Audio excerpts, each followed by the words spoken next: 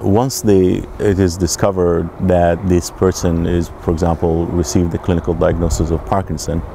uh, and that the actual procedure is appropriate for them, uh, meaning that they're of good, you know, they, they're of good health otherwise that can handle a surgery, uh, like uh, craniotomy or uh, craniofacial.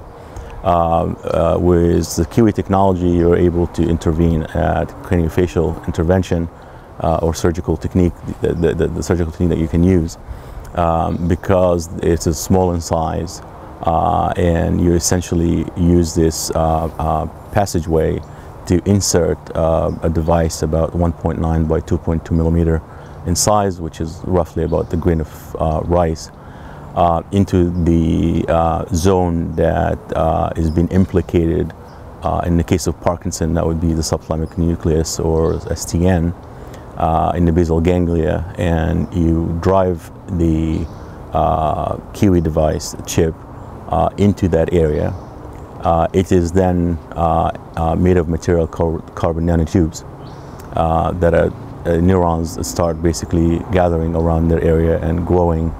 uh, it would then sense um, this growth of neurons or the presence of these neurons start modulating uh, electrophysiologically uh, modulation pattern uh, that is fit uh, to uh, stop the tremor, which is the most immediate thing that we want to stop. so this neuromodulation happens by pulse generation essentially at a very, very low power. There are two other therapeutic uh, uh, effects or engagement that takes place. One we refer to as a scaffolding effect, and the second is, uh, or the third would be the optogenetics in the event that that's what we want to do, which is regrowing cells uh, or reprogramming the functional area in this projection zone.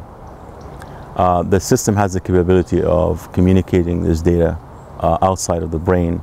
to a nearby device we refer to as the propagator and then the propagator is able to convey or connect this information to a system on the cloud um, that is uh, essentially a, a, a, full scale referred to as a brain operating system that is capable of processing this data, uh, generating additional inferences or corrections or modification to the firmware or to the software, and then following the same path uh, for, uh, backward again uh, to uh, back into the chip that process uh, continues on for the life of the uh, therapy.